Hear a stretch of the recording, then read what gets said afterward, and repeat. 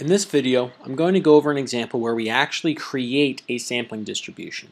The example is a little silly, if you will. It's not necessarily realistic, but it's still the results that we get and the relationships that we can see from this example can be used to illustrate the relationship for any possible population and samples within that population. So here we're told that Ken wants to keep track of the number of tomatoes in his garden over a three-day period. On the first day there were 14 tomatoes, on the second day there were 10, and on the third day there were 6. Now we are only considering those three days. We can pretend that a storm allowed or wiped out all the plants after the third day, so now he literally has no more days that he can do. This is the population. The number of observations, the number of days, or number of tomatoes that we, we've seen here in this problem is 3. That's the capital N for the number of observations in the population. And the grand mean, which we know is the mean of the population, if we were to add up 14 plus 10 plus 6, and we divide that by 3 to get the mean, we get 10. So the grand mean number of tomatoes was 10, and the total observations in the population was 3. Again, kind of a silly example, but we're going to be able to see what happens when we create a sampling distribution. A sampling distribution, if you recall from the last video, is a distribution of all the possible sample means for all the possible samples. Because we are dealing with a small number of observations in the population, we can actually write out all the possible samples that we could get. And we're talking about a sample size of 2. So we are randomly selecting two of the observations, and we're going to find the mean. And notice I'm saying with replacement. So what I'm going to do first is just to list out the possible samples that we could get out of the population. So I could randomly select two observations. I could get the observation where I have 6 and 6. I could have the observation where I first get 6 and then get 10, and then 6 and 14. You can kind of see the pattern here. Then I could get an observation where I get 10 and 10 in one of the samples. 10 and 6, I kind of kind of went out of my pattern here, and 10 and 14. I could also get 14 and 6, 14 and 10, and 14 and 14. So if I'm randomly selecting two of the observations from the population, and I'm doing that with replacement, I listed all the possible combinations I could get, 6 and 6, 6 and 10, and so forth. Now I want to find the sample mean of each one of those samples. So if I add up these observations and divide by 2, I'm going to get the sample mean. So if I add up 6 plus 6, I get 12, and divide that by 2, I get 6. So I'm going to go ahead and just do this here. This is 16 divided by 2 is 8. 6 and 14 is 20. 20 divided by 2 is 10. 10 and 10, the mean is 10. 10 and 6, I get 8. 10 and 14, I get 12. 14 and 6, I get 10. 14 and 10, I get 12. And 14 and 14, I get 14. Now with this information, I can create a sampling distribution. I listed out all the possible samples, all the possible sample means, and now I can talk about, well, what's the probability of me taking a sample and getting a particular sample mean? So I'm going to let m be a random variable that represents a sample mean that I could get. It looks like the possibilities. I could get a sample mean of 6, I could get a sample mean of 8, I could get a sample mean of 10, and I could get 12, and I could get 14. That's the possible, that's the list of possible sample means that I could get from this situation. Now, what's the probability of me selecting a sample mean of 6? Well, if you look here, 6 is the only sample mean here. There's only one way that I could get that out of 1, 2, 3, 4, 5, 6, 7, 8, 9. So the probability of me selecting 6 out of all the sample mean is 1 out of 9.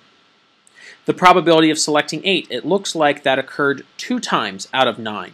So the probability of me getting out of a random sample getting a sample mean of 8 is 2 out of 9. 10, 1, 2, 3 occurred 3 times. 12 occurred twice, so 2 out of 9. And 14 occurred once. So 1 out of 9. Now, remember, this is now what we have right here in red. This is a sampling distribution for the sample mean for this problem. It lists all the possible sample means and all the possible or the probability of getting that sample mean. Keep in mind, these are the only possible sample means that we could get given our population. If I wanted to find the mean, and that's what I want to do, I want to find the mean of the sample distribution, the sampling distribution. So if this is its own distribution, I can find the mean, the expected value, by taking this column, the variable, and multiplying it by the probability of selecting that variable. So here I'll have 6 times 1 ninth. I'll have 8 times 2 ninths. 10 times 3 ninths. I'll have 12 times 2 ninths. And I'll have 14 times 1 ninth. So I'm going to just write that out briefly here. 6 times 1 ninth plus 8 times 2 ninths. And I'm going to actually put this in my calculator. This is going to give me the expected value. So 12 times 2 ninths plus 14 times 1 ninth. If you remember, if you need to go back to a previous module, we talked about the expectation of a probability distribution. So this is the, expecta the expectation for the random variable m for the mean which we also know is the mean of the means, if you will. So if we put that in our calculator, you should get, if you put this in your calculator, and if you wanted to put everything in parentheses, that's fine. If you have a graphing calculator, you could just write it from left to right, and the order of op operations would be okay. But if you put this in your calculator, you're going to get 10. What we just found was the mean of all possible means. All possible, I guess we should say sample means. That's what we just found. It's equal to 10. The mean of all the possible sample means was 10. What you might have noticed is that the mean of all possible sample means is equal to the population mean.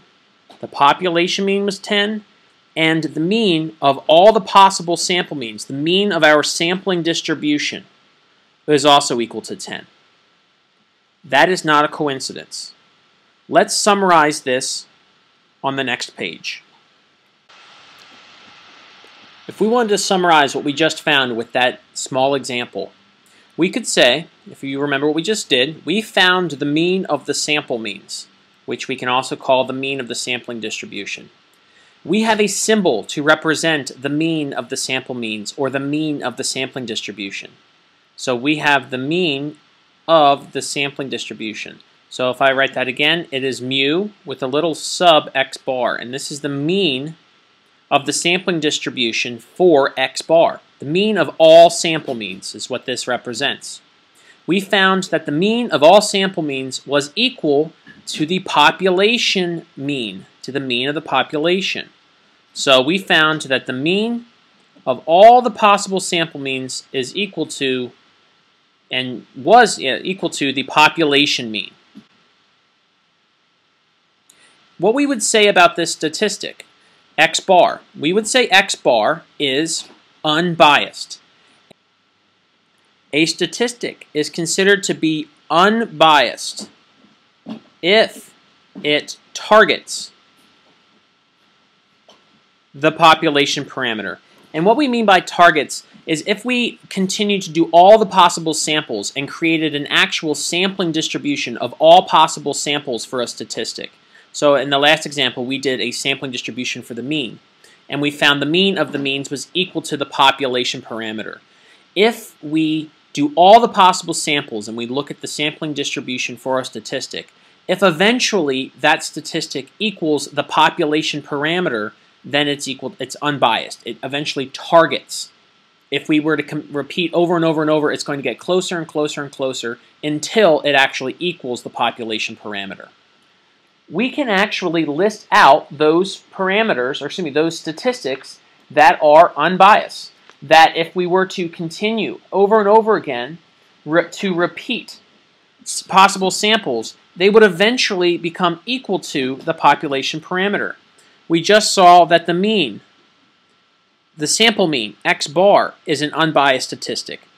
Eventually, the sampling distribution, if we look at all the sample means, the sampling distribution gives us, eventually, the population mean. The variance, the sample variance, is also unbiased. Unbiased. Variance. We use S squared. Another one is the population proportion. And when we talk about the population proportion, that's going to be p hat. This, some biased estimators, the median, the range, and the standard deviation. In fact, the standard deviation is pretty close.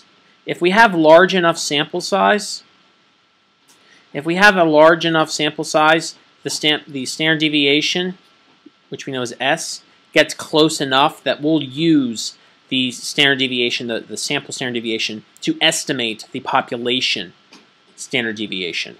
So why is this important? This is important because if we want to estimate, if we want to estimate, our goal eventually is to estimate, and soon we want to estimate, the population parameter for whatever it could be. It could be the variance, it could be the mean. So if we want to estimate a population parameter, then if we want to know the mean, let's say, let's say we want to know the mean, or we wanted to know the uh, population variance, or the population proportion, then we can take samples. We can take a lot of samples, and the mean of all those samples will start to target the population parameter. So if we want to estimate a population parameter such as the population mean or the population variance or population proportion, we can use samples.